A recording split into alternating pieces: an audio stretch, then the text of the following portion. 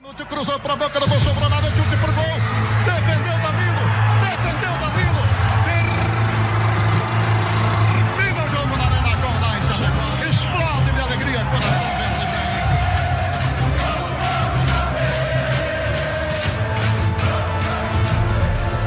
Un modesto equipo brasileño clasifica para la final sudamericana.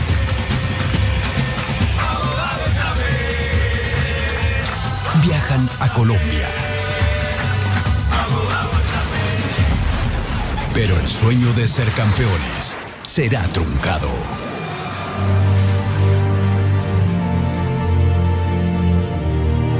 un desastre aéreo, pocas posibilidades de vida. O sea que íbamos más bien muy escépticos en personas que estuvieran o que hubieran, que hubieran quedado sobrevivientes. Vamos, Jimena. ¡Socorro! ¡Estamos vivos! ¡Estamos acá! ¡Ayuda! ¿Qué sucedió? Y empezó a vibrar el avión. Erwin, siéntate y ponte la... Como cualquier auto, digamos, cuando se acaba el combustible, vibra, ¿no? Ta, ta, ta, ta, y se detiene. ¡Tenemos que salir de aquí! ¡Vamos! ¡Un médico rápido aquí! ¡Un médico! ¡Uno! ¡Dos! ¡Tres! ¿Cómo pasó? Señor Dios Padre Poderoso. O barulho do avião, o som do avião.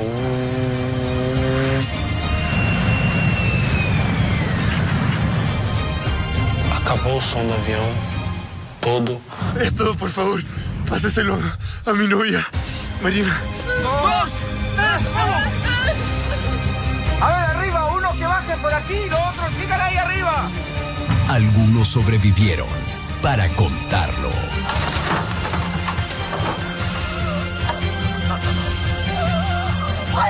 ¡Hay otra persona viva!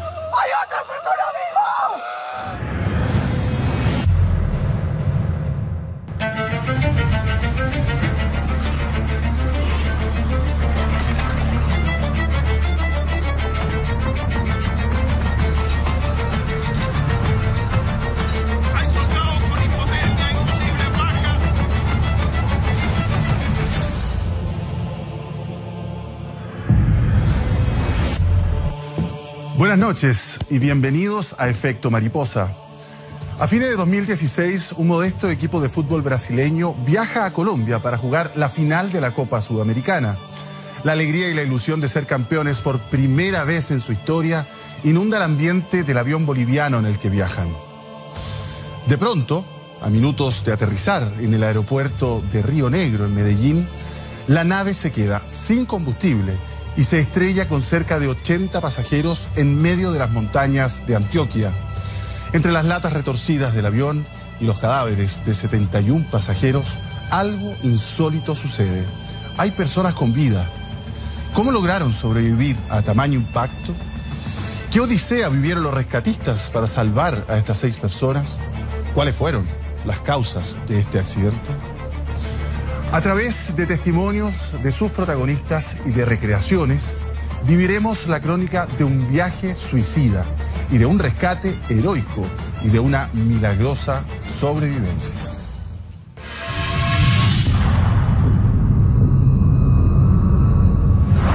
Lima India 2933, 210 en acercamiento. Lima Mike India 2933. Solicito prioridad para la aproximación. Estamos presentando un problema de combustible. Por favor, señor. Disculpe. Ya avisaron que estamos por aterrizar. ¿Su cinturón?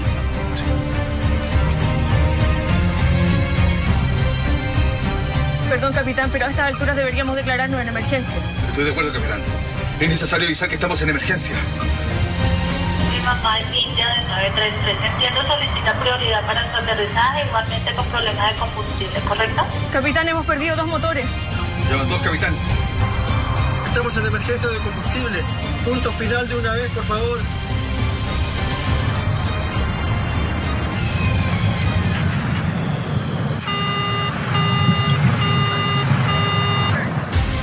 Lima de 933. Estamos en falla total, señorita. Sin combustible y sin electricidad. Hermin, siéntate y ponte el arnés. Pásale al radar, se perdió. Ah, señor de misericordia, Señor Jesús. No lo tengo, lo notifique rumbo. Nosotros, Cristo Jesús, bendícenos, Señor Dios Padre. ¡Vamos, Zacarías! Rumbo 360, 360, señorita.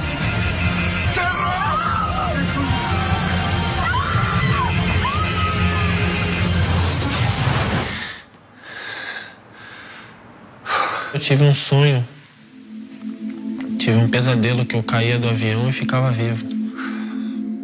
Com muito sangue, muito buraco no corpo, muitas cicatrizes. E eu lembro que no meu sonho eu olhava para trás, vinham umas quatro pessoas comigo. Eu não conseguia identificar o rosto. Foi o sonho mais real da minha vida. El sueño de Elio Neto, defensa del club chapecoense, ocurre tres días antes de subirse al vuelo del AMIA.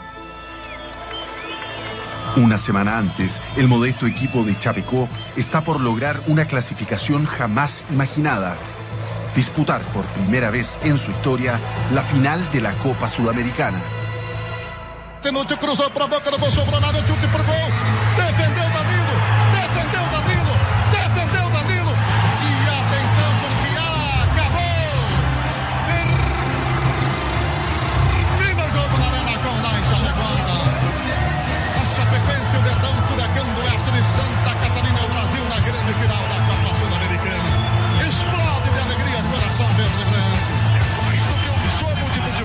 Chapecó comienza el festejo más grande de su historia. Hinchas y jugadores viven el momento soñado. Entre ellos se encuentra Iván Añoleto, periodista de la radio local que sigue la campaña de su amado chapecoense desde siempre. O campeonato catarinense. Chapecoense. Naquele jogo, especialmente, foi de, foi de, mudar a batida de coração. Porque a Chapecoense, no envolvimento direto da sua torcida, conseguiu a façanha. Aquilo que, para nós, era praticamente impossível, quase impossível.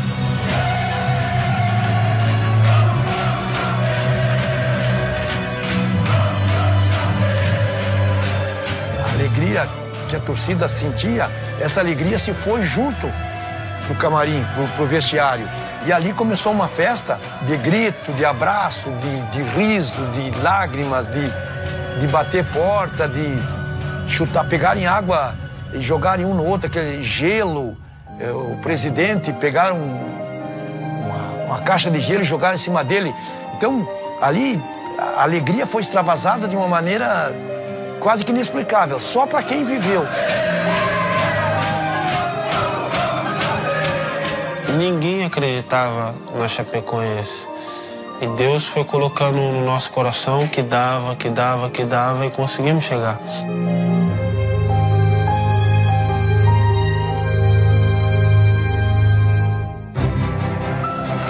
Chapecó sueña con estar en Colombia para enfrentar al Atlético Nacional y ser campeones de Sudamérica. Acompañados por la euforia de su gente, el equipo sale en un vuelo regular desde Sao Paulo hacia Santa Cruz, Bolivia.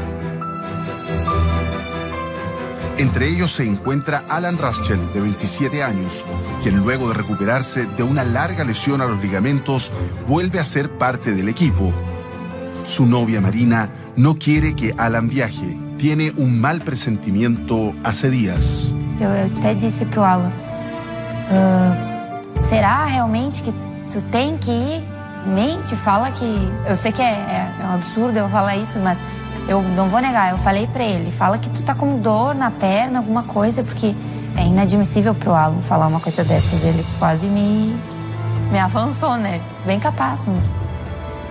Uma, um jogo dessa magnitude eu não vou ir. En estas imágenes, el equipo está en el avión brasileño que los llevará desde Sao Paulo a Santa Cruz, en Bolivia. En ese vuelo, Elio Neto se acuerda del sueño que tuvo tres días atrás. Não sei o porquê o meu sonho ficou na minha mente. E eu entrei dentro do avião e mandei mensagem para ela. Simone, amo vocês, estou com saudades. Ora por mim, pede a Deus pelo meu sonho, repreender o meu sonho. Porque eu senti que algo poderia acontecer. Só mandei mensagem para ela. No pasó nada en la escala Sao Paulo-Santa Cruz y los temores de Helio se disiparon. Una hora después, está confiado y feliz como el resto de su equipo al abordar el avión de Lamia. Ya sé qué pasa, Erwin. Todos nós brincamos com a tripulação porque já tínhamos voado antes com eles para Barranquilha, era a Lamia. Então todos nos conhecíamos, todos muito à vontade com a Lamia, porque já, já havia conhecido eles. Lamia es una compañía boliviana de vuelos charter que se ha adjudicado el traslado de la mayoría de los equipos que disputan la Copa. El Chapecoense ha viajado varias veces en ese avión y sus jugadores se sienten seguros. Sí, yo creo que va- vamos a volver con buen resultado. ¿Ah? Aquí el goleador. El goleador, el chapecoense, el goleador jugando una, la primer final de la Sudamericana. ¿Qué tal? ¿Qué tal el, el- el vuelo? ¿Qué tal en la mía? Uma, uma final muito importante para nós, conduzido pela Laminha, nós estamos bem. Vamos que vamos. ¿Cómo- ¿Qué tal el, el vuelo? ¿Qué tal el paseo? ¿Cómo que? ¿Qué tal el vuelo? ¿Qué tal el servicio acá en la mía? Entendi porra nenhuma, meu. ¿Y, y tiene, y tiene la, la, la, la, la, la guitarrita? Vamos fazer daqui a pouco. ¿Hace daqui a pouco música? Vamos pegar, vamos ¿Ah? fazer. Vamos fazer daqui El ambiente estaba más- bastante alegre. Hasta a mí me sorprendió porque las veces que volábamos, digamos, con otros equipos, eh, no, no, sabía, no solía ser así. Cuando yo, yo vi eso, entonces dije, wow, este, este equipo está, wow, está alegre. ¡Saludos, muchachos! Quem um dia conheceu o piloto jamais imaginaria que ele fosse cometer tudo que ele cometeu, porque parecia aparentemente uma pessoa séria, uma pessoa experiente, uma pessoa cuidadosa.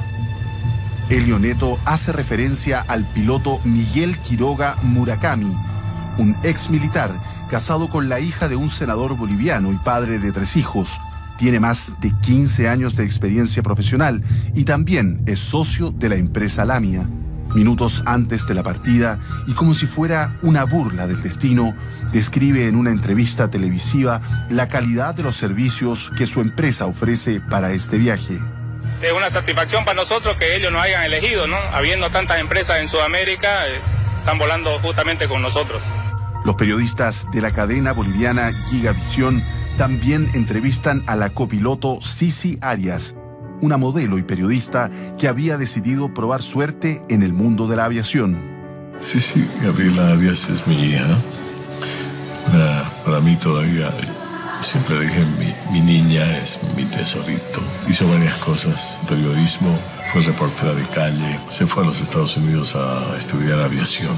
Y bueno, estaba ya en la tarea de construir sus horas de vuelo. La mía, como siempre, transportando a equipos de fútbol, en este caso a Chapecó, eh, llevándolos hasta la ciudad de Medellín, Bogotá, eh, Colombia, perdón. Era su primer vuelo en esa compañía. Era un avión inglés eh, de muy buena calidad, de muy, muy buen performance. Y entonces me pareció bien, me pareció bonito. Nosotros eh, prestos a, a brindarles el mejor servicio. Eh, algo muy importante es eh, saber que ellos utilizan eh, una empresa boliviana, sino un equipo brasilero para que podamos transportarlos hasta eh, Medellín. Me llamó por teléfono y me dice, papá, va, perdona que dejé todas las cosas, tienes que me dormí casi, pierdo el avión. En un rato más vamos a salir. Dentro de la tripulación también se encuentran Jimena Suárez, azafata de 28 años, madre de dos hijos, y Erwin Tumiri, técnico del avión de 26 años. Horas antes de la partida, Erwin entrega un informe donde señala que hay que pasar al aeropuerto de Cobija, en el norte de Bolivia, para abastecerse de más combustible. Eh, yo también le llamé también al ingeniero yo le pregunté, ¿vamos a ir a Cobija? Me dijeron que sí, entonces yo le hice escribir ahí que la siguiente parada iba a ser Cobija. Sin embargo, dos horas antes del despegue, el tripulante de la empresa Lamia, Alex Quispe, presenta un plan de vuelo donde no se establece hacer escala de recarga de combustible. Ese plan de vuelo fue cuestionado por Celia Castedo, funcionaria de la Administración de Aeropuertos y Servicios Auxiliares a la Navegación Aérea de Bolivia. A ver, El, el tiempo total de vuelo son 4 horas 22 minutos. ¿Y la autonomía es de 4 horas 22 minutos? No, no, esto está mal. Así me lo dijo el capitán, así me lo entregaron. Pero es que aquí hay un error. El tiempo de viaje es igual a la autonomía de combustible. Eso no puede ser. Ustedes se han equivocado. Lo hacemos en menos tiempo. No se preocupe. Tranquila, señora Celia. Eso está bien. Ya está bien. Vuelva más tarde a ver si ha habido algún cambio en el plan de vuelo y me lo trae de inmediato. Celia Castedo hace cinco observaciones al plan de vuelo. Las más graves son pretender viajar con una autonomía de vuelo exactamente igual al tiempo de ruta y no contar con un segundo aeropuerto alternativo en caso de emergencia. Sin embargo, aún se investiga por qué razón la funcionaria firma el documento y el plan de vuelo es finalmente autorizado. Yo fui el último en subir, ya al momento de irme atrás, ahí le pregunté, vamos a ir a Cobija, ¿verdad? Y le volví a preguntar al ingeniero y me dijo, no, vamos a ir a Colombia directo. Yo dije, ya, bueno, un poquito pensé y, bueno, saben lo que hacen ellos también, ¿no?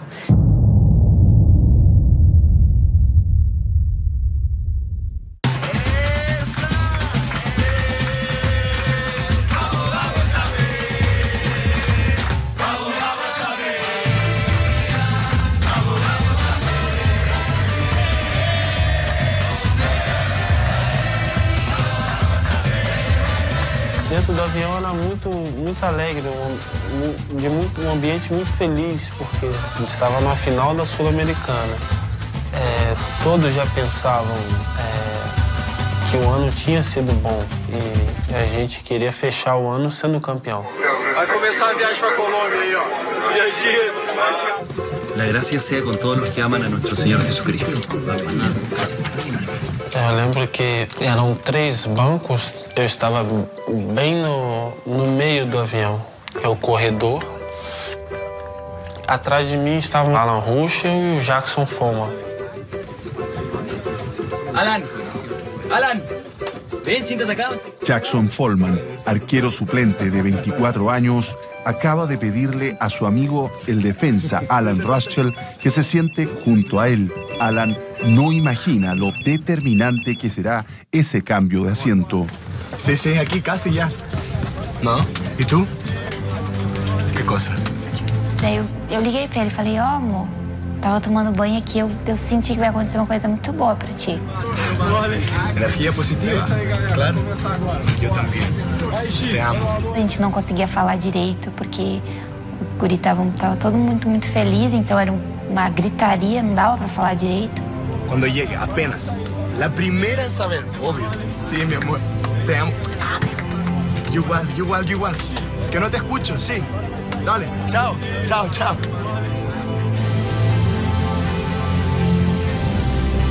Cargado de alegría, amor y buenos deseos, despega el avión que transporta a un equipo de fútbol completo, a sus dirigentes, a sus médicos y una decena de periodistas.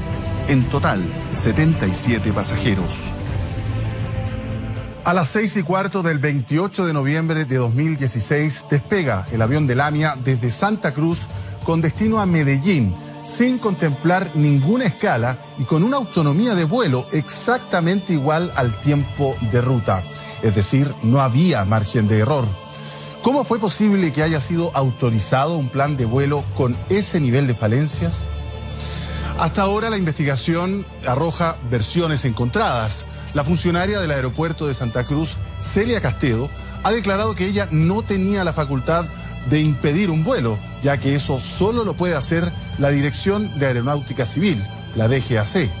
Pero tanto sus jefes directos como la DGAC argumentan que ella nunca informó de esos errores, por lo tanto no lo supieron. Por otro lado, se sabe que el gerente general de la empresa Lamia, Gustavo Vargas Gamboa, es padre del director de la DGAC boliviana.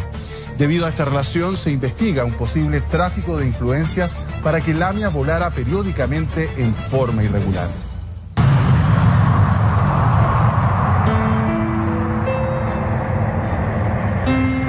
Han pasado dos horas y el vuelo transcurre con total normalidad. Dentro de 10 minutos, el avión entrará en el espacio aéreo colombiano. En la cabina, la novata Sisi realiza cálculos del vuelo y alerta sobre la necesidad de desviarse hacia un aeropuerto que les permita reabastecerse de combustible, ya que el viento frontal les ha hecho gastar más de lo pronosticado. Ah, velocidad crucero 220 nudos, tiempo de vuelo 2 horas 25 minutos. Estamos a tiempo para un cambio de ruta. ¿Debíamos entonces para recarga en Bogotá? Esperemos. Pero según los cálculos es necesario realizar recarga. Evaluemos. Había pequeñas turbulencias ya, en- pero eso era ya por cuestión a las nubes, eh, a la lluvia también que, que se venía o que estaba en ese momento, ¿no? Diez minutos más tarde, el piloto Miguel Quiroga toma la primera de sus decisiones fatales. Tiempo de vuelo 2 horas 35 minutos. Transferencia lista para control de tránsito aéreo en Colombia. Capitán, ¿desviamos entonces para recarga en Bogotá? No, no, no, es ruta conocida. Nos vamos directo a Río Negro, Medellín. Pero, capitán, estamos al límite de combustible. Vamos bien, es ruta conocida. ¿Destino final Río Negro entonces? Destino final, señorita. ¿Por qué Miguel Quiroga, un piloto con 15 años de experiencia, toma esta arriesgada decisión? ¿Quiere ahorrar tiempo? ¿Quiere ahorrar gastos de combustible? Ingresando al espacio aéreo colombiano, pues podía, podía tomar la opción de solicitar un alterno, el cual habría sido aprobado. Un aeropuerto alterno, como Bogotá. Pero no recargar combustible en Bogotá no será el único error que el piloto cometerá durante el viaje. Luego de cuatro horas de vuelo, el avión se prepara para aterrizar y el piloto nuevamente se enfrentará a una decisión clave que, de haber sido bien tomada, esta historia hubiese podido ser distinta. Señores pasajeros, estamos llegando al aeropuerto de Río Negro. Por favor, vuelvan a sus asientos y abróchense sus cinturones de seguridad. De nada. Lima Mike India 2933. En acercamiento, solicito permiso para descenso y pista de aterrizaje. Descender a 230 mil pies y mantenerse en patrón de espera hasta que se encuentre pista libre. Llegando al aeropuerto de Río Negro, en Medellín, el piloto recibe la orden que nunca hubiese querido escuchar. Un avión acaba de declararse en emergencia por posible pérdida de combustible y tiene prioridad para aterrizar. Su avión debe girar en círculos hasta esperar su turno. La orden no debería representar una dificultad para su vuelo, salvo que su reserva de combustible está en rojo. Solo podrá mantenerlo en vuelo por unos minutos y extrañamente decide no declararse en emergencia y esperar. Detrás de su cabina, nadie sabe lo que está sucediendo. Eu lembro que estava tranquilo, eu tentei dormir um pouco, estava cansado e deu uma turbulência, o avião tremeu um pouco e eu acordei, fiquei acordado, olhei no relógio, lembro, pensei comigo, já está chegando né, em Medellín. Mesa arriba, por favor. Señorita, ¿cuánto falta? Hace rato que avisaron que íbamos a aterrizar. En 10 minutos estamos en el aeropuerto. ¿Su cinturón? Es que estoy esperando a mi compañero que no deja molestar. Está contento. Recién siete minutos más tarde de recibir la orden de espera, el piloto Miguel Quiroga da a conocer a la torre que tiene un problema. Lima Mike India 2933. Solicito prioridad para aproximación. Estamos presentando un problema de combustible. Ok, ya tengo, entonces le daré vectores para proceder al localizador y efectuar la aproximación. Perdón, capitán, pero a estas alturas deberíamos declararnos en emergencia. Estoy de acuerdo, capitán. Es necesario avisar que estamos en emergencia. Por favor, señor. Dijo. Ya avisaron que estamos por aterrizar. ¿Su cinturón?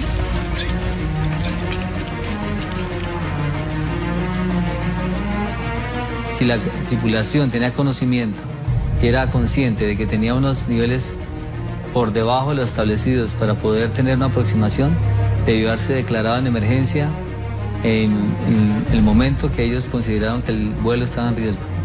Si quieres te sientas acá, Erwin. ¿Por qué tardamos mucho en descender? Porque ya más antes nos habían comunicado que nos sentáramos a nuestros sitios para ahí abrocharnos nuestros cinturones para que ya estamos listos para aterrizar. Capitán, hemos perdido dos motores. Llevan dos, capitán.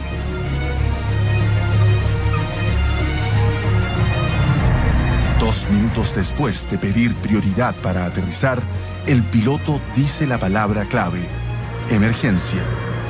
Estamos eh, con emergencia de combustible, señorita, por eso le pido de una vez curso final. Mamá India del 933. ¿Puede usted efectuar el viraje ahora por la derecha para iniciar el, el descenso, continuar la aproximación? Si está húmeda, llame por 10 milito practicar y se El retira. piloto toma la decisión en un punto en el cual era un punto de no retorno. ¿Cuál es la explicación para que el piloto decida demorarse tanto en declararse en emergencia por falta de combustible? ¿Sería acaso por evitarle una multa a la empresa Lamia, de la cual era socio? La legislación en Colombia es clara para sancionar las negligencias de las líneas aéreas, aplicando desde severas multas hasta la prohibición de operar en su país. Al parecer eso está volteando Jimena, ¿eh? Eso debe ser la condensación. A estas alturas, la cadena de errores ya es imposible de enmendar. El tiempo se acaba. E o avião via naquele barulho normal. O barulho do avião, o som do avião.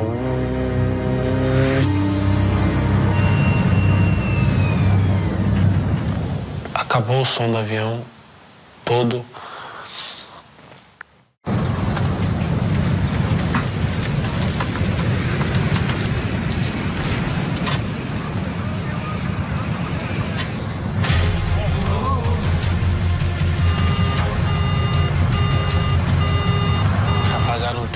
Luzes do avião, escureceu tudo e acendeu a luz de emergência no chão. Eu olhei e falei na mesma hora: é, Jesus tem misericórdia. Jesus tem misericórdia. Misericordia, Señor Jesús. Tú que siempre nos protegido, Señor Dios Padre. Oh, Padre. E depois de um tempo, a gente voava sem barulho, com o barulho do vento, o som do vento. Y empezó a vibrar el avión.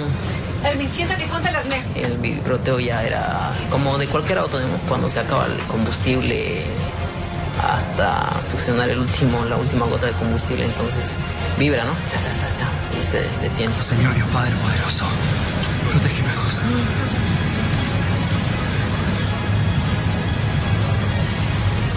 Muitos companheiros estavam orando também. E tocou um alarme dentro do avião. Pi, pi, pi, pi, pi.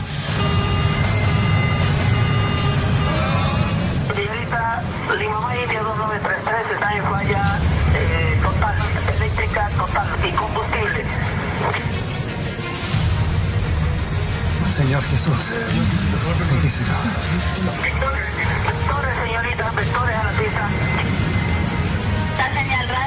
Tengo, notifique rumbo ahora. E lembro-me que eu fiquei ouvindo o avião, o trem de pouso, a, a roda sair para pousar e não fez barulho. Vamos con con grupo 360, 360. No lo tengo con la altitud, Lima May, India. Bien, señorita. E comecei a orar, orar e falava: Jesus nos ajuda, Jesus nos ajuda. Protégenos esta hora, Señor. Cristo Jesús. Esperando ver se o piloto iria falar alguma coisa, não falou. Eu vi que não tinha solução. Bendícelo, Jesús. Bendícelo. Oh, Padre. Eu lembro que eu olhava para os meus companheiros, escutava vozes de oração. Jesus, meu Deus, nos ajuda. Não teve gritos, socorro, nada disso. Nos acompañado. Muita oração, todos orando. ¡Vamos a caída! Estamos bajando muy rápido. Está a 8.2 millas de la pista. Eu lembro dele fazer isso aqui, ele virar.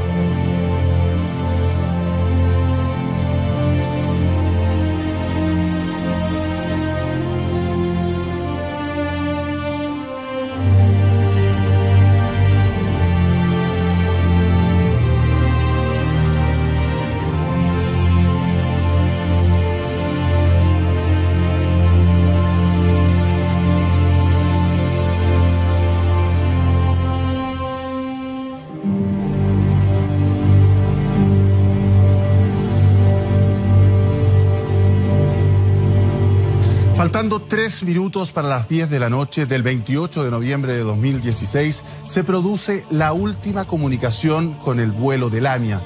La controladora aérea colombiana rompe en llantos cuando se da cuenta que ha ocurrido una tragedia. Mientras tanto, se activan todos los protocolos de emergencia para localizar el avión. Saben que se estrelló en medio de la montaña cerca del poblado de La Unión y a unos 13 kilómetros del aeropuerto de Medellín. Inmediatamente son notificados del desastre dos compañías de bomberos de la zona, la de La Unión y la de Río Negro.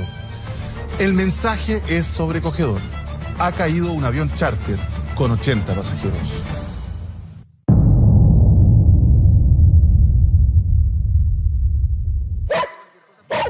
Son las 10 de la noche cuando el comandante Elson Zuluaga de la compañía de bomberos de Río Negro recibe la confirmación. La aeronave que se había declarado en emergencia ha caído muy cerca de su ciudad. Inmediatamente pues abordamos nuestras camionetas y salimos hacia el lugar de, de los hechos. De aquí hasta allá hay aproximadamente unos 30 minutos eh, a buen ritmo. Es en un cerro, un cerro que se llama Cerro El Gordo.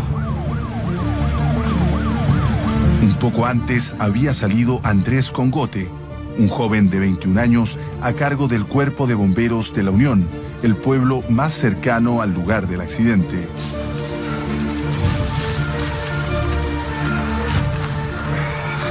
Vengan. Todo acá. En el transcurso hacia la zona del impacto, tuvimos una charla con nuestros bomberos y les decíamos que Nos enfrentamos a una situación de un avión estrellado con alrededor de 80 personas a bordo. Tenemos que estar preparados física, mentalmente para lo que podemos encontrar. ¿Entendido? Entendido, En ese momento llega la escuadrilla de socorristas de Río Negro al mando del comandante Zuluaga. Él será el jefe de toda la operación de rescate. Comandante Zuluaga, Río Negro. Gotas. Nosotros pues en un desastre aéreo y con nuestro entrenamiento pues pocas posibilidades de vida. O sea que íbamos más bien muy escépticos en personas que estuvieran o que hubieran, que hubieran quedado sobrevivientes. Vamos para ahí. Vamos.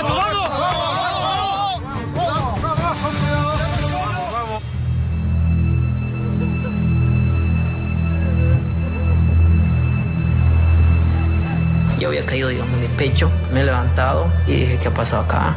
¿Qué ha pasado? O sea, mi pregunta era esa, ¿qué ha pasado? Creí que era una pesadilla, así, creí que me había dormido en el avión y me estuve soñando.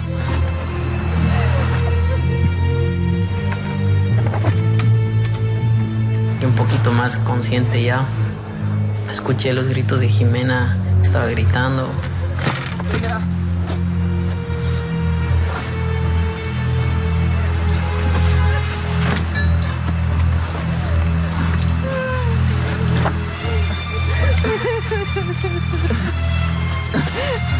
Jimena. No sé, creo que fue la adrenalina y todo eso. Trataba de sacarla de, de su, su cinturón, lo, lo saqué, no sé cómo, pero lo he sacado. Le llevé a Jimena arriba, eh, le arrastraba, le, le empujaba. ¡Ay, mi brazo! Porque tenía miedo uno de que explote, otro de que se recorra, digamos, la estructura de la aeronave. Vamos, ¡Ay! ¡Ay! Me puse de rodillas y lo único que dije a papá Dios, ¿no? Dije gracias Señor por, eh, por esta nueva oportunidad. Muchas gracias, le dije. Vivos, Padre Santo. Estamos vivos. Dios mío, ¿por qué nosotros? Necesitamos ayuda. Nadie nos va a ayudar. Estamos orientando sobre cómo llegar al sitio donde se encuentra el avión. Son cerca de las 11 de la noche. Ha pasado más de una hora desde que ocurrió el accidente.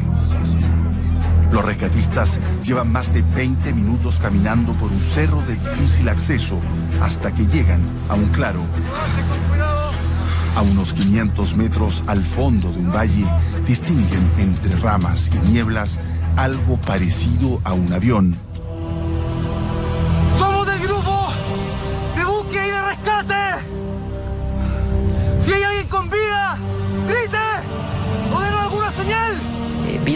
Lejos que venían como en zigzag así. Hartos así como con luces así.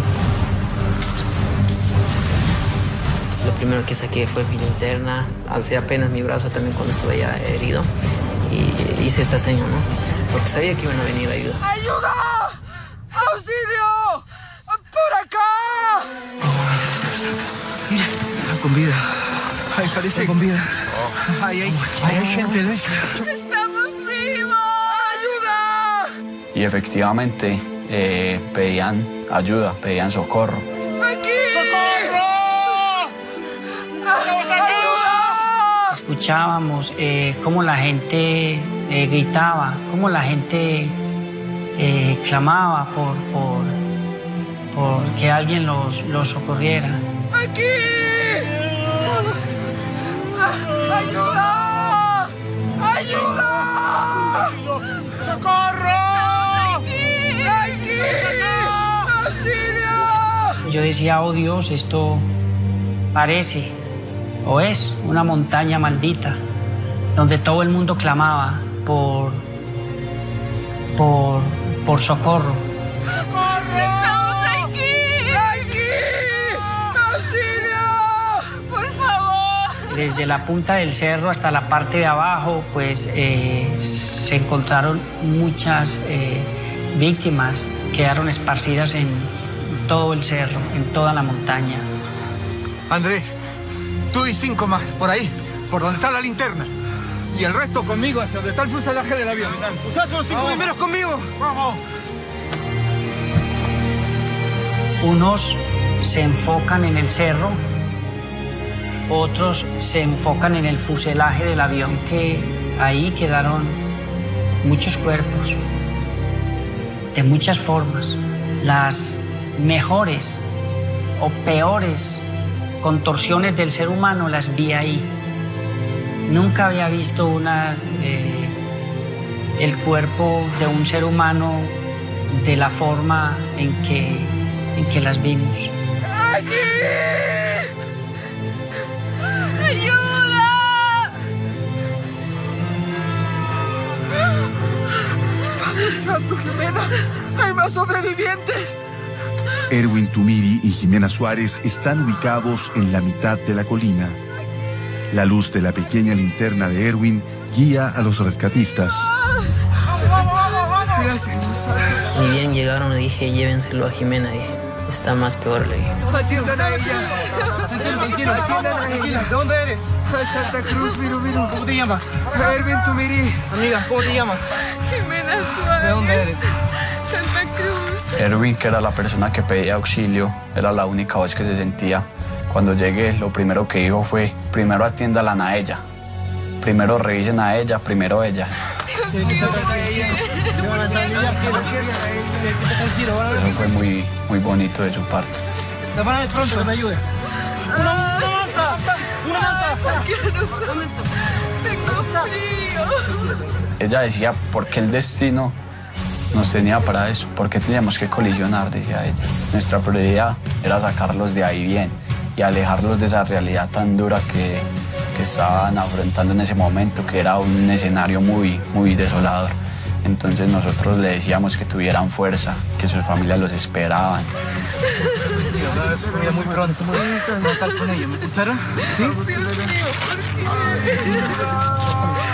¡Hay más por allá! Andrés se da cuenta que a 5 metros de Erwin y Jimena hay dos sobrevivientes más. Los periodistas brasileños Rafael Hensel y su colega Andrei Louis. Ambos están muy graves. ¡Es en Dios! ¡Tranquilo! ¡Socorro! ¡Socorro! ¡Estamos acá! Andrei estaba colgando, tenía sus piernas colgando y sujeto al cinturón todavía. Tenía una fractura de tráquea y múltiples fracturas en sus piernas. Eso fue uno, uno de los hechos y de las personas que más nos marcaron a nosotros como bomberos. Ten fe, André. Ten fe. Piensa en Dios, piensa en tu familia, André. La única parte del cuerpo que veíamos de Rafael era su cabeza, porque había demasiada selva, demasiada maleza. Entonces la- la- él salió eyectado con su silla, todavía estaba sujeto con su cinturón. ¡Salvo! ¡Aquí estamos! Deciden sacar primero a los más graves, Andrei Luis y Rafael. Jimena será la siguiente. Ayuda, ayuda, Andrei. Tranquilo, tu nombre, amigo, tu nombre. ¿Te acuerdas de tu nombre?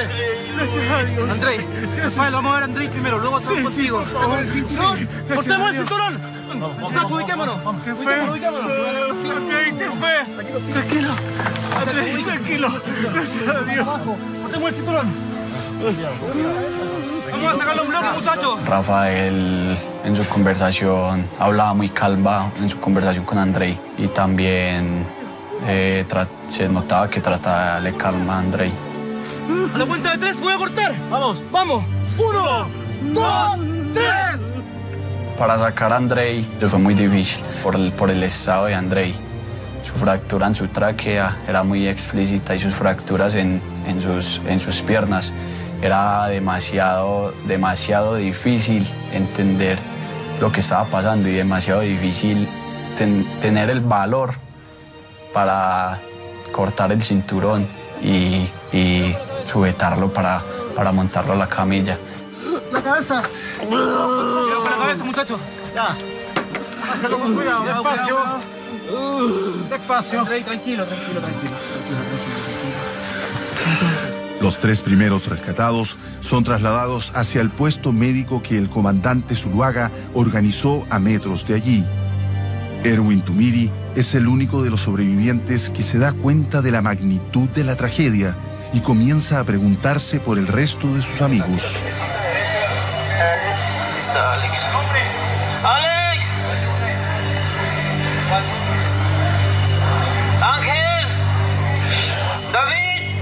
Claro que sí, mi corazón. No grites, técnico, tranquilo, cálmate, cálmate. No te desgastes, no te desgastes, no te desgastes, no te desgastes, ¿ya, técnico? No te desgastes. ¿Listo? Se llama Edwin, mi corazón, sí, señor. No, tranquilo, tranquilo, técnico, que... No te preocupes que estamos para colaborar, sí. Rafael Hensel y Andrei Louis llegan al sector donde los médicos pueden salvarles la vida. Pero Andrei viene muy mal. ¿Cómo está, doctor? Lo estamos estabilizando. Andrei, Andrei, Andrei. El médico pues hizo todo lo que estaba a su alcance para canalizarlo. Andrei, Andrei, no te vayas, por favor. Andrei.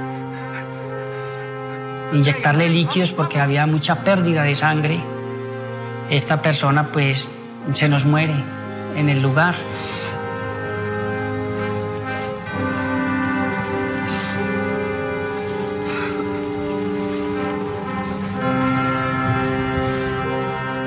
Levantaba mis ojos hacia el cielo y, y me preguntaba, Dios, ¿por qué tienen que morir de esta forma? ¿Por qué?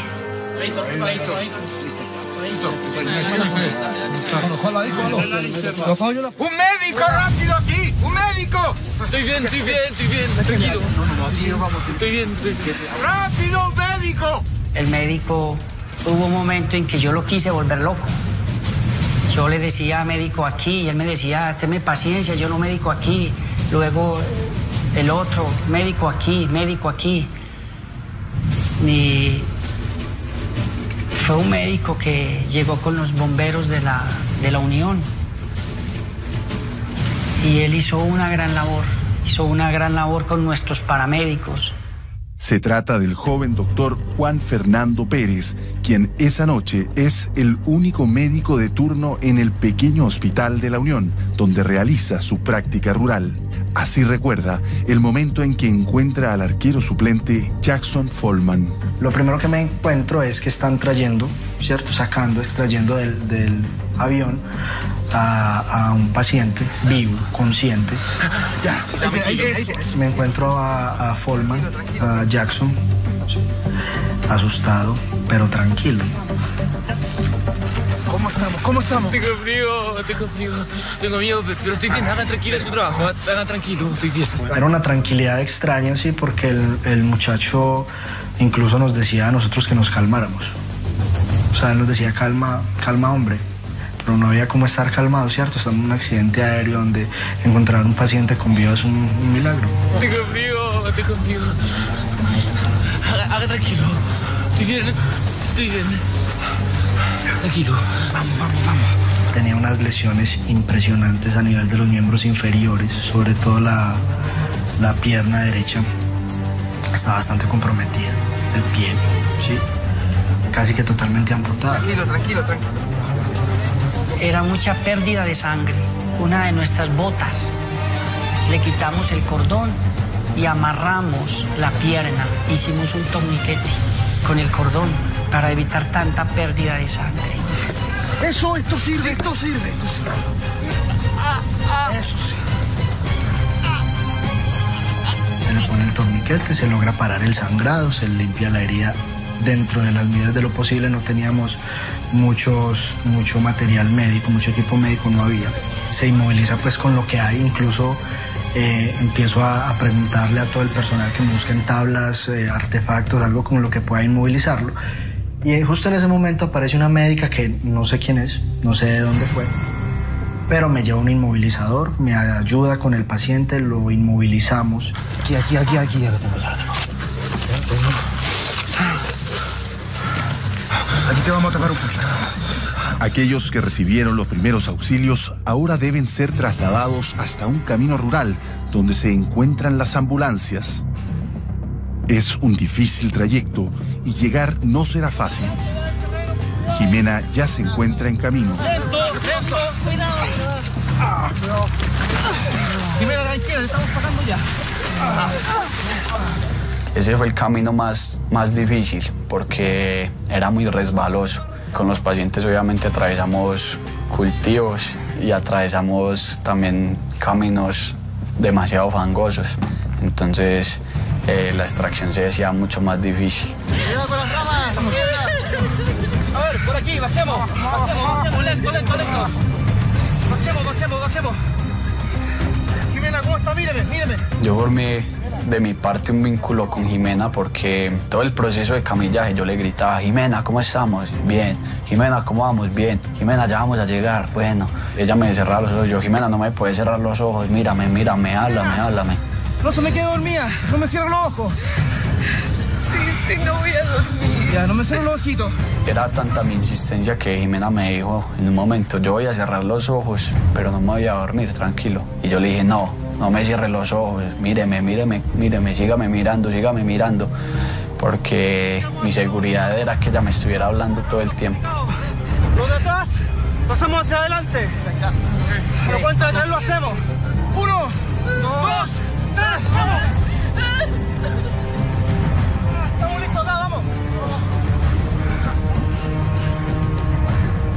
Mientras tanto, el doctor Juan Fernando Pérez está terminando de estabilizar a Jackson Follman. Estas imágenes son captadas por el primer periodista audiovisual que llega a la zona, David Plantón, quien no duda en apagar su cámara para ponerse a ayudar. Cuando empiezo a escuchar, eh, necesitamos evacuar a los heridos, lo único que yo hago que eh, es guardar mi cámara y pedirle al comandante se lo haga un par de guantes y acercarme donde estaba Jackson. Evacúen, evacúen. Material acá. Por acá está muy limpio. Vos tomas la primera nota. Hágale, hágale.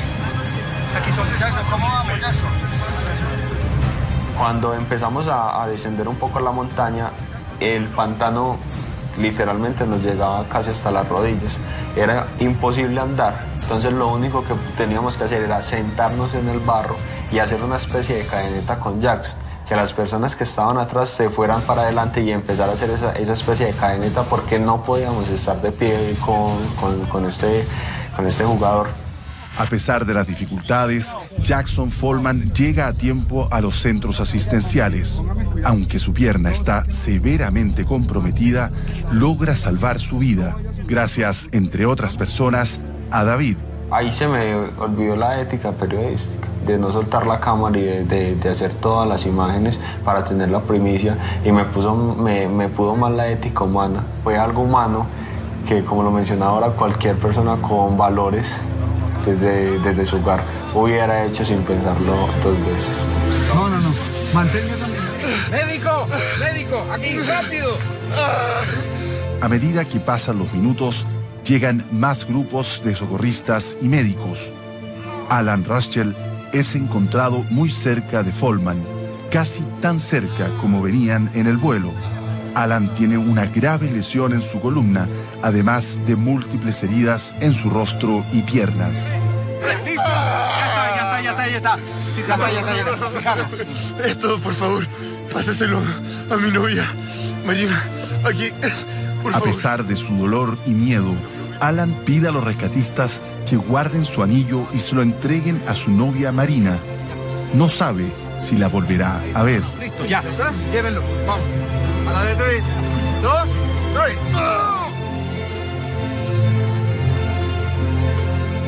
Aparece otro pasajero con vida, el famoso y querido arquero Danilo Padilla, pero lamentablemente Danilo fallecerá en la ambulancia camino al hospital. Son las dos y media de la mañana y ya no hay más que hacer. Los equipos de rescate han barrido todo el lugar sin encontrar más personas vivas. Es entonces cuando comienza una fuerte lluvia y se decide hacer un receso de más de dos horas. Esta es una zona demasiado fría, muy fría. Se empieza a tronar mucho, un fuerte aguacero cae. Ya habíamos peinado demasiado la zona y hemos concluido pues que no había más víctimas. Entonces hicimos un receso. Eh, empezó a llover muy fuerte, demasiado fuerte. Entonces buscamos refugios, no había. Inclusive nuestros refugios fueron las bolsas blancas donde se embalan los, los cadáveres. Ahí nos metimos mientras, mientras pasaba el, el- el fuerte aguacero.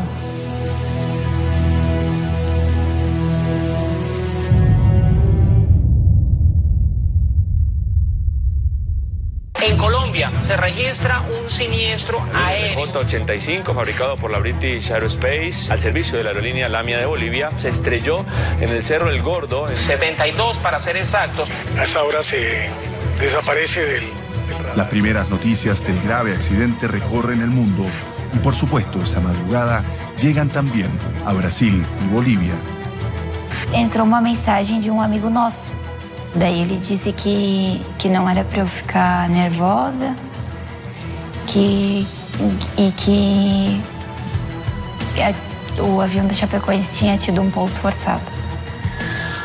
Aí parece que nessa hora, assim, parece que.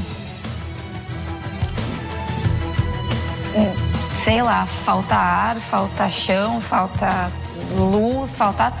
Faltou tudo. Realmente es algo muy triste, muy duro confirmar una noticia de. Y aquí lo único que hay que hacer en este momento es atender la emergencia. Aí começou a aparecer algumas coisas assim na TV. Quando, quando apareceu do Alan, Alan Russell Jackson Follman, jugadores del equipo chapecoense, además del auxiliar de vuelo Jimena Suárez y del periodista deportivo Rafael Hensel, de quien se dice que, venía tipo, eu. Que Deus tinha me tirado um, um negócio assim de dentro, sabe? Mesmo só deles terem encontrado o Alan, terem falado do nome do Alan, assim. Al llegar al punto del impacto, algunas luces dejaban entrever un avión en ruinas. Las labores de búsqueda no han parado, que aún están las autoridades en Me quedé ahí sentado mirando el avión con tantos pasajeros cae cerca de Medellín. Al rato dice que hay sobrevivientes. Luego dice que acaban de rescatar a una muchacha de unos 28 años, morena, pero no dan el nombre. Los minutos fueron pasando y ahora se han suspendido las operaciones de rescate por mal tiempo. Entonces yo me quedé esperando que la morena o la trigueña de 28 años más o menos sea mi hija.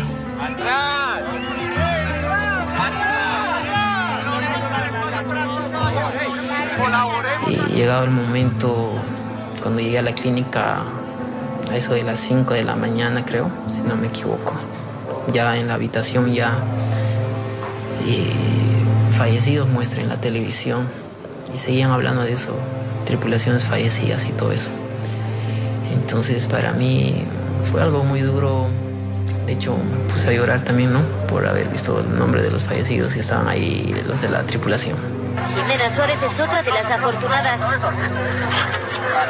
Rescatada entre los escombros del avión siniestrado, es una de las azafatas del vuelo. Y entonces empezaron a dar nombres. Y dieron el nombre de la muchacha, no era mi hija. Entonces eh, empecé a morir. Vaya este mensaje, como decían ustedes, a los familiares eh, y a las personas que están luchando en este momento por su vida. Con el alma en un hilo, cada familiar se va enterando de la muerte de su ser querido. Hasta ahora son cinco los afortunados sobrevivientes que se trasladan a tres hospitales de la zona. Resgataram todos os corpos, de quem está vivo e de quem está morto. O meu não acharam. Eu fui dado como morto sem ter o corpo achado. Cuando pasa el- esta fuerte lluvia, todo queda en una tensa calma, absoluta calma y un silencio absoluto.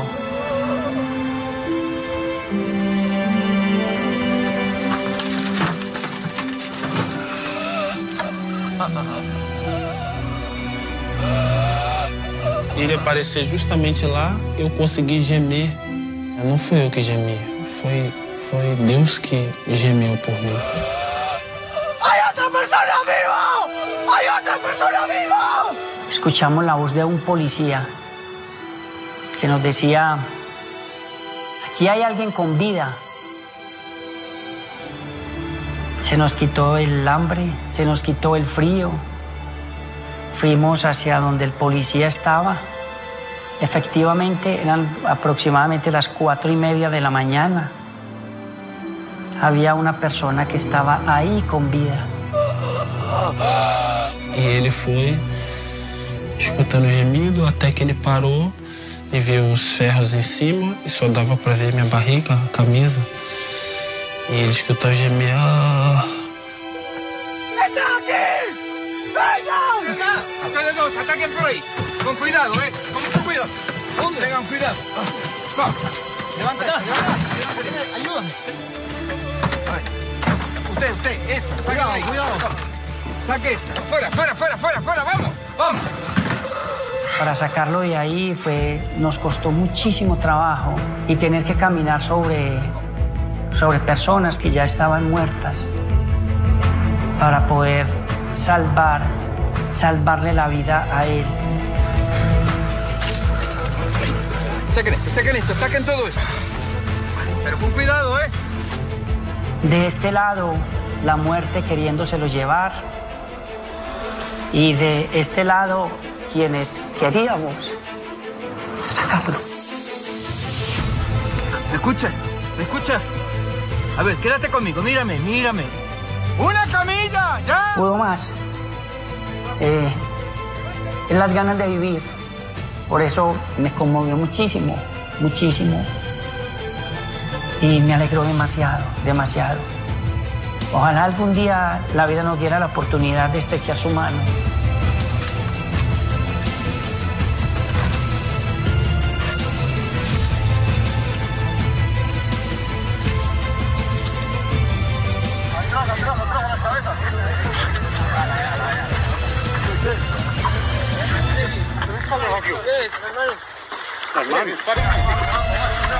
Ele falou que me levou pra ambulância embaixo e falou que os médicos me falaram assim: esse daí não tem como ficar vivo.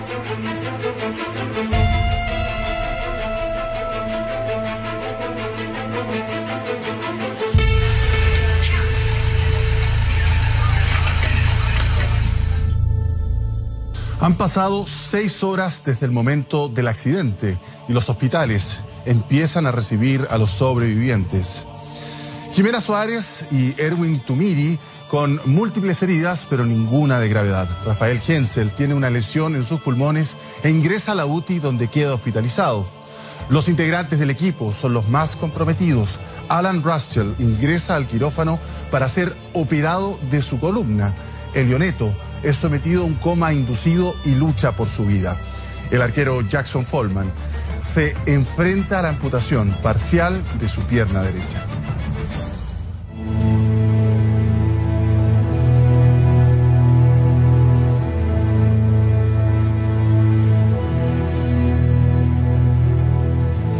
La luz del día deja ver la magnitud de la escalofriante realidad de la tragedia los socorristas se preparan para la etapa más dolorosa, recuperar los 71 cuerpos de aquellos que no tuvieron la suerte de sobrevivir.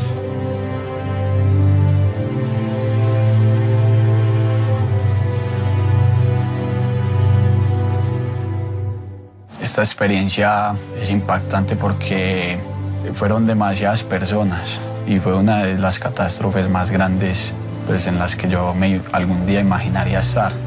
Entonces es impactante y es nostálgico por las vidas que se perdieron, por la esperanza que traían esas vidas después de encontrar las personas con vida.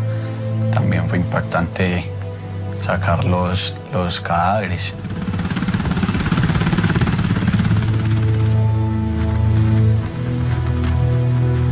Los cuerpos de los 71 fallecidos son trasladados a una funeraria de Medellín.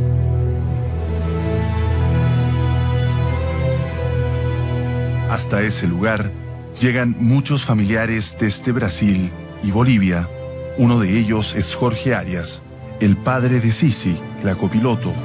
Junto a su mujer y su hijo, necesitan verla para convencerse de su muerte. Miramos a mi niña, la miramos.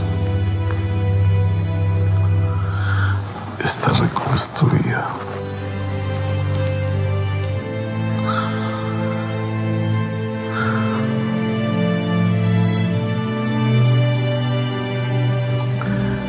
Fue muy duro todo para ella también. Si duro para nosotros, ¿cómo sería para ella? La han reconstruido un poco para que la podamos ver. Pero bueno, eso también nos deja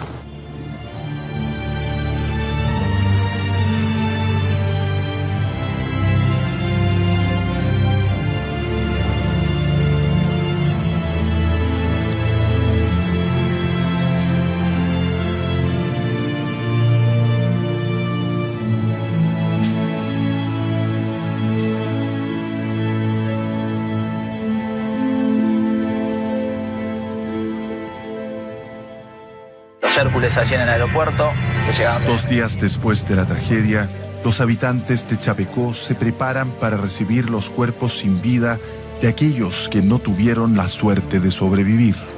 Cuando ingresan al estadio, todo Chapecó llora y hasta el mismo cielo descarga sus lágrimas ante los 50 ataúdes de jugadores, técnicos, dirigentes y periodistas. O estádio estava quase cheio, foi algo bem diferente de tudo. Eu conversava com várias pessoas, daí teve uma pessoa que disse: eles já estão aqui esperando os corpos. Que ela quis dizer para mim que os jogadores, Chapecó clamou tanto por eles, depois da tragédia, que eles já estavam no estádio há muito tempo, esperando os corpos deles mesmos.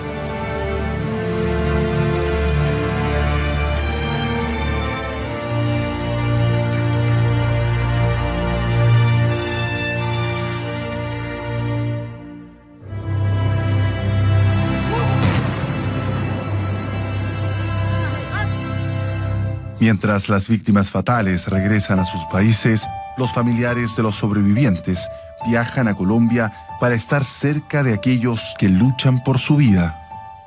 Al llegar al Hospital San Vicente de Río Negro, Marina, la novia de Alan Raschel, recibe el anillo que él pidió que le entregaran.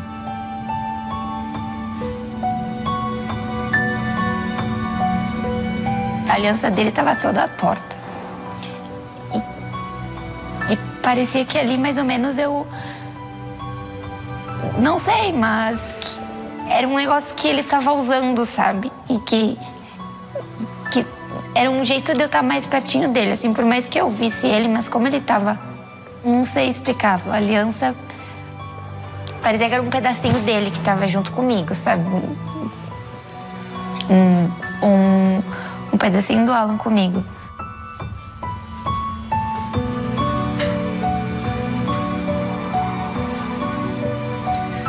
Hola, mi amor. ¿Me estás viendo? Pediu pra ele segurar minha mão. Aí ele, sabe, só de sentir ele quentinho assim já. Já. enchia o coração, sabe? Mira o que te traje. Eu tentava puxar alguma coisa que.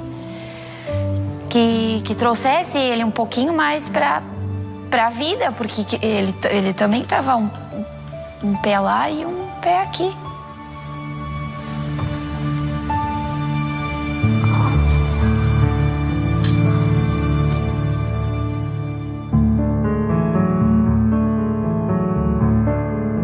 Tres días después del accidente, Erwin Tumiri estado de alta casi sin lesiones, mientras Jimena sigue en recuperación con heridas leves. A los nueve días, Alan Russell sorprende a todos dando sus primeros pasos después de una intervención a la columna.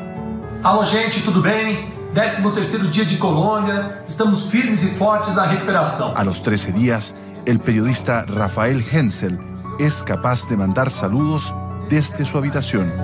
Los únicos que aún se mantienen en cuidados intensivos son Jackson Follman, quien se recupera de la amputación de su pierna, y Elio Neto, a quien acaban de despertar de un coma inducido.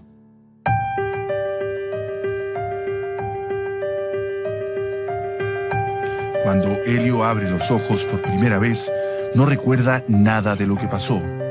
No sabe nada del accidente ni del triste final de la mayoría de sus compañeros. Só lembro quando acordei, quando acordei dez dias depois. Eu lembro de Simone, meu pai, meu irmão mais velho. Eles estão todos aqui, vieram me ver. Estranho. Papá.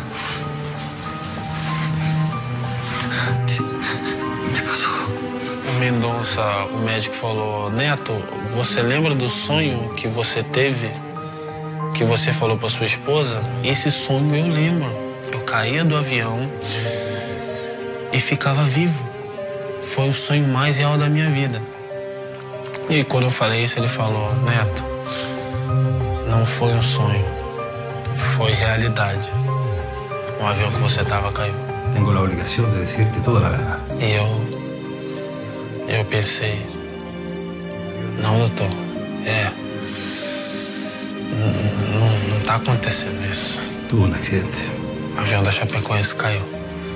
E tu tienes a bendição de ser um dos sobreviventes.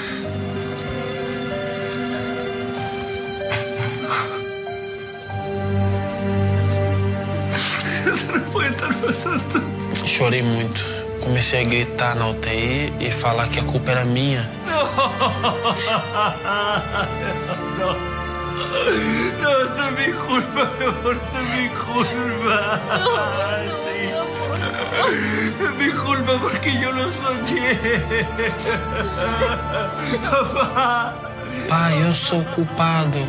Eu tinha que falar do meu pesadelo. Eu não falei nada para ninguém a culpa é minha. E meu pai falava, calma, não é assim. Eu falava, não, não, a culpa é minha.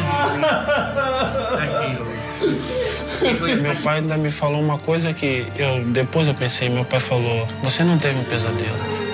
Você teve um aviso de Deus. E você está vivo. Então não é coincidência. Não foi sorte. Deus te avisou o que iria acontecer.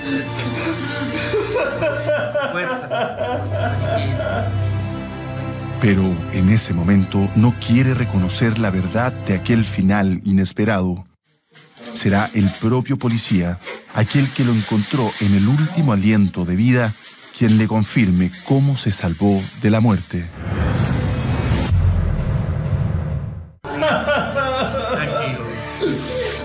Meu pai ainda me falou uma coisa que eu depois eu pensei, meu pai falou: "Você não teve um pesadelo.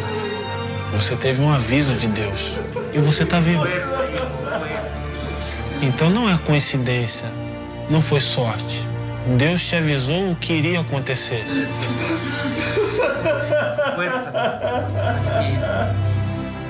Pero en ese momento no quiere reconocer la verdad de aquel final inesperado. Será el propio policía, aquel que lo encontró en el último aliento de vida, quien le confirme cómo se salvó de la muerte.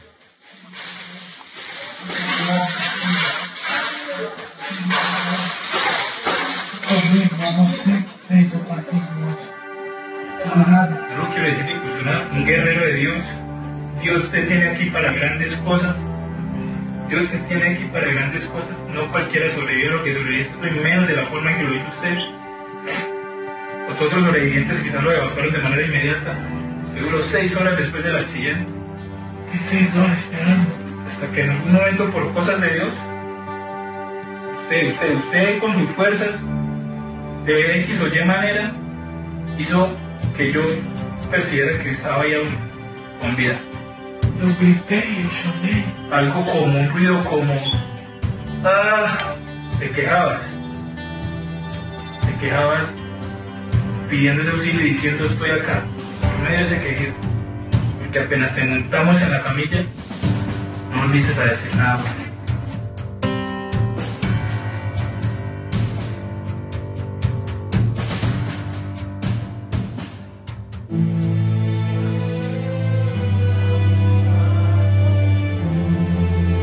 Durante la semana que Helio estuvo en coma, en el sitio del accidente, un sacerdote hizo una pequeña misa junto a los campesinos y lugareños que viven cerca de ese lugar.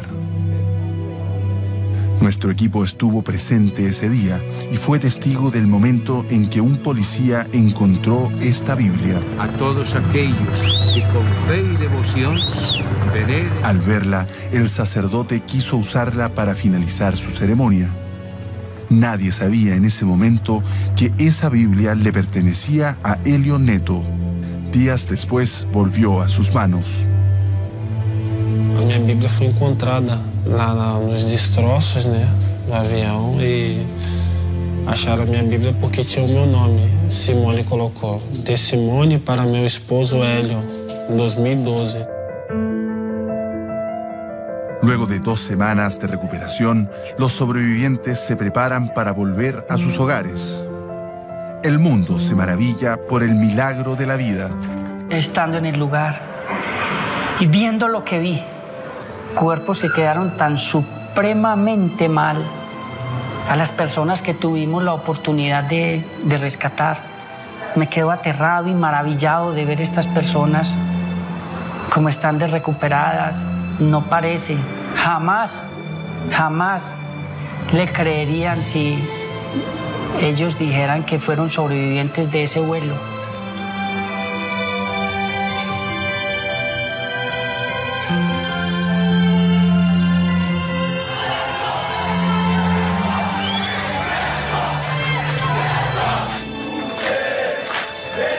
Después de esto, para mí fue, marcó mi vida marcó mi vida.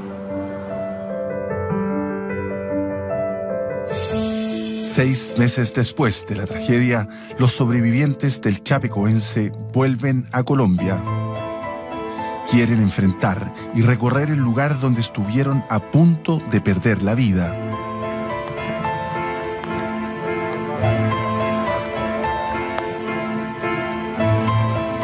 Acompañados de sus familiares, descienden el cerro Jackson Follman camina gracias a una prótesis bajo la rodilla de su pierna derecha. Hoy es comentarista de Fox y sigue entrenando en el Chapecoense. a gente precisava chegar até aqui para para ver tudo o que aconteceu. A gente sabia que que foi difícil, mas a gente não achou que era tão difícil. É, foi um, um milagre de Deus. É, milagre, milagre. Estar acá foi um, um ciclo que se cerra para mí. Un ciclo que se cerra. Rafael Hensel sigue trabajando como periodista deportivo en una radio. Elio Neto y Alan Raschel continúan jugando como titulares en el Chapecoense.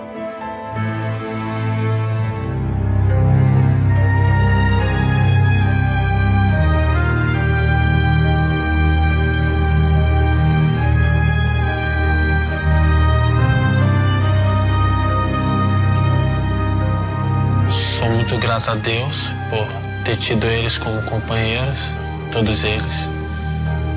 Abraçaria cada um. Não tive a oportunidade de abraçar. Diria que eu amo muito eles. A gente acha, a gente acha que vai sempre ter oportunidade de falar amanhã. Eu não falo eu te amo hoje, amanhã eu falo.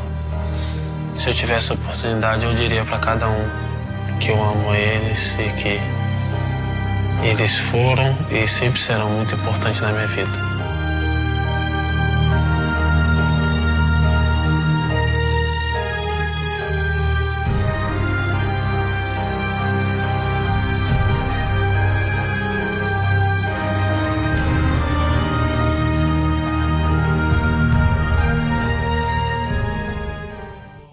El gran sueño de todo un pueblo fue truncado por la avaricia e irresponsabilidad de unos pocos. A un año y medio de esta tragedia, las razones ya están claras. El informe final de la Aeronáutica Civil de Colombia determinó que la falta de combustible fue la causa de la caída del avión. La compañía Lamia planificó un vuelo sin escalas y no cumplió con el mínimo de combustible exigido por las autoridades internacionales. Por su parte, la investigación judicial boliviana procesó al gerente general y al copropietario de LAMIA, además de tres funcionarios de la Dirección General de Aeronáutica Civil. Debido a la complejidad de este caso, que involucra a tres países, la investigación judicial ha extendido el plazo para dictar sentencias condenatorias. En tanto, la Dirección de Aeronáutica Civil de Bolivia inició una completa reestructuración interna.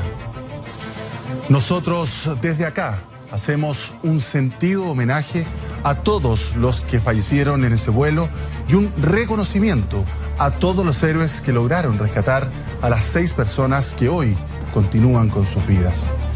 Muchísimas gracias por su compañía y que tenga muy buenas noches.